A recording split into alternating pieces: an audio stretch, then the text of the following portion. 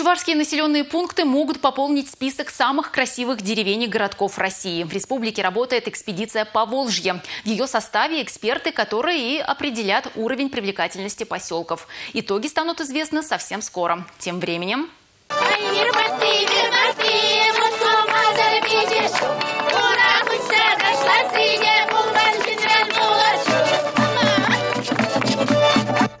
Козловку сами жители называют маленьким зеленым сердечком Поволжья. Леса, холмы, волжские излучины создают особый природный ландшафт. Старинная часть города еще сохранила купеческую вальяжность, но рядом уже успели вырасти многоэтажки. И они, увы, явно не красят облик Козловки. В турмаршруте дом-музей известнейшего математика Николая Лобачевского, дом купца Волчкова, он же дом со шпилем, смотровая площадка «Птичий полет», самая высокая точка над уровнем Волги на территории республики и многое-многое другое. Мы рады тому, что мы живем на берегу великой русской реки Волга, а летом наша Козловка превращается в маленький в маленький Крым. Сегодня вы можете в этом убедиться. Сегодня жаркий день.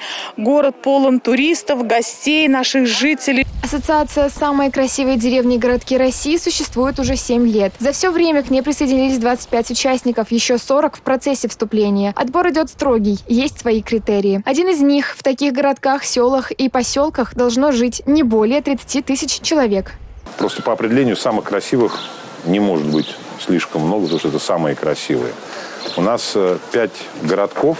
Мы принимаем городки, сохранившую свою связь с сельской местностью, такие традиционные э, исторические э, города. Экспедиция побывала в Ядринском, Марпасадском, Цивильском и других районах. Шансы войти в ассоциацию есть у многих городков и сел республики. Надо всего лишь сохранять свою аутентичность и развивать индустрию отдыха. Ульяна Пятакова, Сергей Емельянов, Республика.